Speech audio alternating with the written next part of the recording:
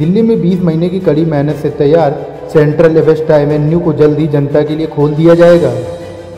हरियाली के बीच एक फव्वारे के साथ लाल पत्थर, पैदल मार्ग और नहर का क्षेत्र न केवल राज्य राजधानी को सुंदर बनाएगा, उसमें चार चाँद भी लगाएगा, बल्कि विजिटर्स को लुभाने के लिए भी तैयार है।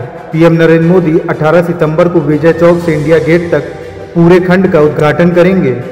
देखिए एवेन्यू की 10 शानदार तस्वीरें आईपीएन न्यूज़ के साथ।